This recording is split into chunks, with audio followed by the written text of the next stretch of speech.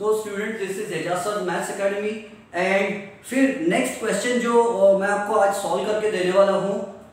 This question is from science one हमारी science one text book किससे है?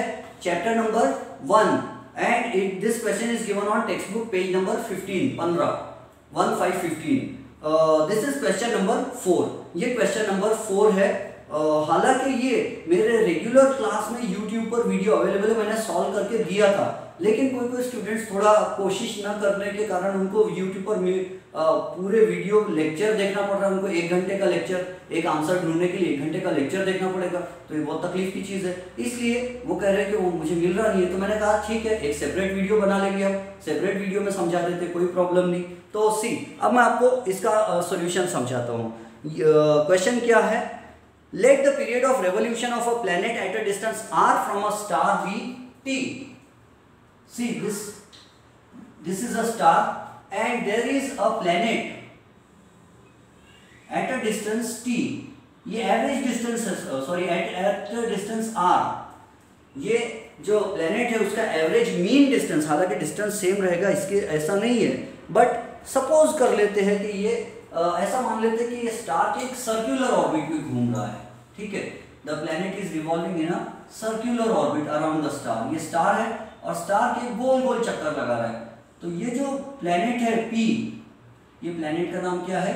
Planet को नाम दे देते हैं P one P one is the name of the planet और वो कितने दूर है कितने दूर है वो स्टार से?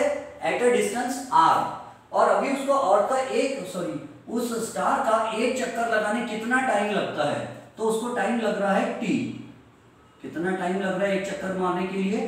टाइम टी लग रहा है। समझ में आ रहा है?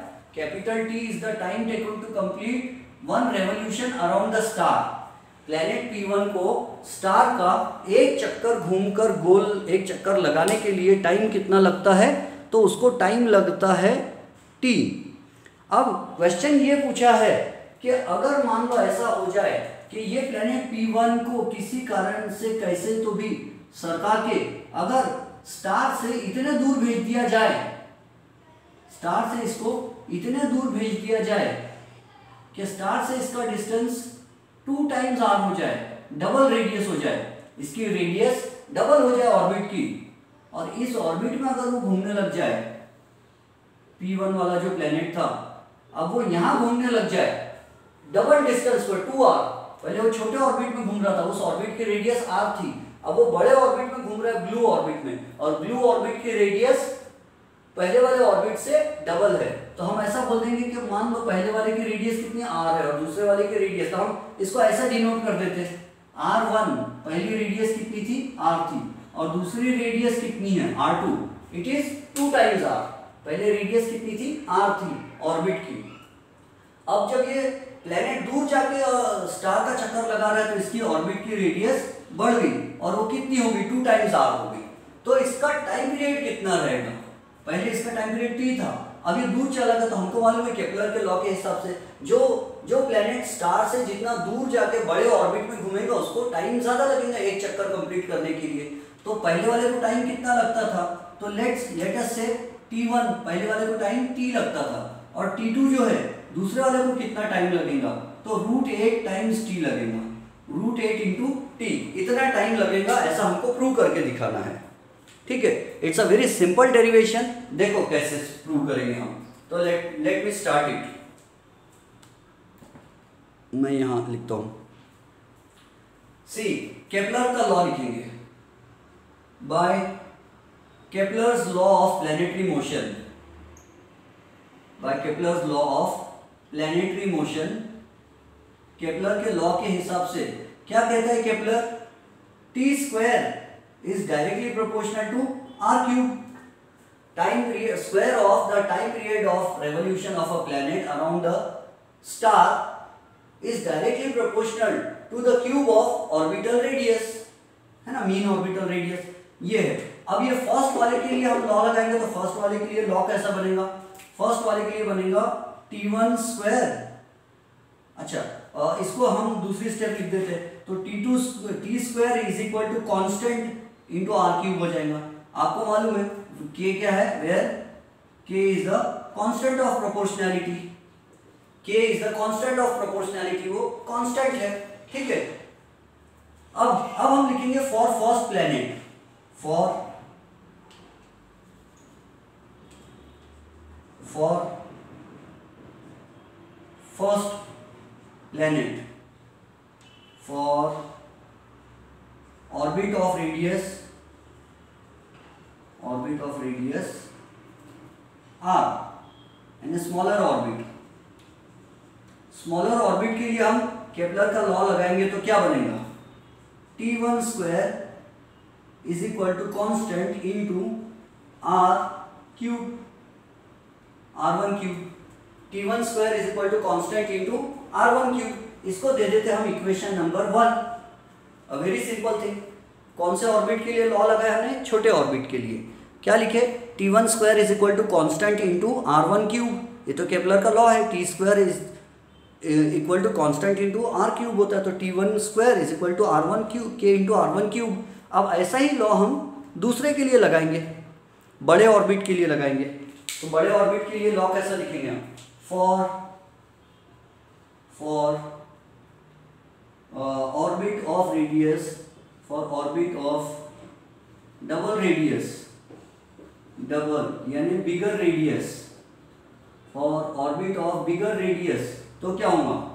T two square is equal to constant into R two cube और ये दे देंगे इक्वेशन नंबर टू है ना? T T one square is equal to K into R one cube T two square is equal to K into R two cube ठीक है? अब क्या करेंगे? इसको सॉल्व कर लेंगे। डिवाइडिंग इक्वेशन हमको क्या चाहिए? किसके लिए फाइंड करना है? टी टू के लिए। तो ऐसा कर देते dividing equation two by one dividing equation two by equation one अगर आपने इक्वेशन वन को टू से डिवाइड किया, या टू को वन से, दोनों भी चलता है, आपकी मर्ज़ी। आंसर वही आने वाला है। तो इट विल बिकम एलएचएस से एलएचएस को डिवाइड करो और आरएचएस से आरएचएस को डिवाइड करो। T two square upon T one square is equal to constant into R two cube upon constant into R one cube constant constant cancel हो जाएगा। फिर बचेगा T two square upon T one square is equal to R two cube R two cube upon R one cube ठीक है? कहानी समझ में आ रही है? के के हो गया। मैं देखो उसको और लिखता हूँ। जानबूझ के मैं बहुत सारी स्टेप्स लिख रहा हूँ। नहीं तो मैं I would have done it in shorter steps shortcut में भी कर सकते थे। अब मैं लिख रहा हूँ T two square upon T one square is equal to दोनों को मैं एक ही क्यूब में डाल रहा हूँ। और मैथ्स में हम ऐसा कर सकते हैं। मैथ्स में इस बात की इजाज़त है। So R two upon R one cube दोनों को एक ही क्यूब में डाल दिया हमने। नाउ अब हम ऐसा भी लिख सकते हैं। T two square is equal to T one square into R two upon R one cube हमने टी वन को इधर भेज दिया राइट हैंड साइड में। समझ में आ रहा है? थोड़ा देख लो। वो दिख रहा नहीं था आपको। देख लो।